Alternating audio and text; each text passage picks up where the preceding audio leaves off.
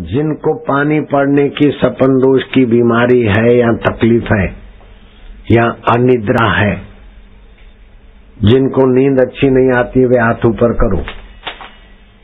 नींद अच्छी नहीं आती। तो मैं बताता हूँ। इस चाय की जगह पर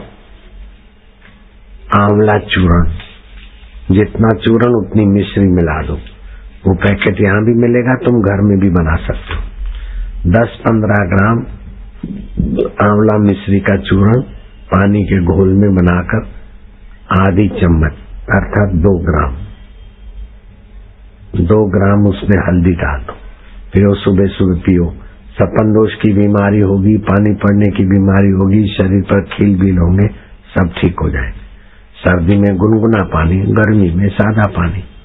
अगर चाय का मज़ा लेना है तो गर्म पानी में बना के पियो। शरबत का मज़ा लेना है तो ठंडे पानी में। दाढ़ी की दाढ़ी, बाबा का बाबा। स्वास्थ्य का स्वास्थ्य और मज़े का मज़ा। आंवला चूरण का एक कप पानी डाल के घोल बना के पिया। बच्चों को दांत आते हैं, दांत निकलते हैं। उस समय या तो जुलाब हो जाते हैं या पेशिस हो जाते हैं तो खजूर और शहद फेंट कर, मिलाकर अच्छी तरह से खूब रगड़ रगड़ के दिन में दो तीन बार चटा देवे। एक एक चम्मच। बच्चों के दस्त पेचिस सब ठीक हो जाएँगे। सर्दी बच्चों की और बच्चे नहीं कर सकते हैं तो 50 ग्राम लहसुन तो 50 ग्राम शहद पियो 10 ग्राम लहसुन कूट के चटनी बना दे। बच्चों को एक एक दो दो ग्राम जैसे बच्चे। बड़ी ठीक ठीक उम्र के तो पाँच ग्राम। बड़ी उम्र वाला व्यक्ति पुरुष, पूरी उम्र वाला तो दस ग्राम। जितना छोटा, उतना कम। सुबह शाम चटाओ। बच्चों को सर्दी लगने से जो बीमारियाँ होती है, नाक बहती आदि आदि, वो सब ठीक हो जाएगा। जिसके बाल झड़ते हों तो गाजर, प्याज और हरा धनिया का मिलाकर सलाद खाए, बाल झड़ने बंद हो जाएँगे।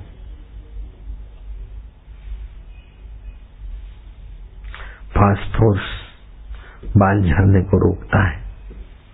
खजूर में भी वो है। अभी तो कई मरीजों को टाटा हॉस्पिटल में से ला इलाज बोले, अब ठीक नहीं होगा, ये ब्लड कैंसर हो गया, फैल गया अब ले जाओगा वो माई को, बेचारे को अब भी मरी ऐसी स्थिति में गुजरात के थे तो वहीं से पसार होना था जिस देहात में जाना था। तो बोले, चलो, आश्रम में तो बापू का दर्शन कराते जाए उसको उठा के ले आए। मैं क्या क्यों उठा के लाए? बोले, इसको कैंसर है और टाटा हॉस्पिटल से केस रिजेक्ट हो गया, फेल है केस तो दर्शन करा के ले जाते मैं क्या नहीं ले जाऊँ हमारे नीता वैद्य है उससे मिलो। नीता वैद्य ने बता दिया कि बासी मुँह दस से बारह मिलीग्राम गोझरण दस बारह मिलीग्राम पानी मिला के बासी मुँह जैसे कुल्ला करते ऐसे मुँह में घुमा के पी ले और बीस ग्राम तुलसी का रस बीस ग्राम तुलसी का रस और पचास ग्राम ताज़ा दही, दोपहर और शाम। उसने इलाज बता दिया और वज्र रसायन दे दी, आधी आधी गोली लेना, कभी एक गोली। मैं आपको बिल्कुल व्यासपीठ पर सच्ची बात बताता हूँ। कुछ महीनों के बाद एक माई आई, बोले, बापू, मुझे पहचाना। उसने गुजराती में बोला, बापू, मैंने ओळखी। मैं कह, नहीं। मैंने ना ओळखी मेरे को नहीं पहचाना मैं क्या नहीं।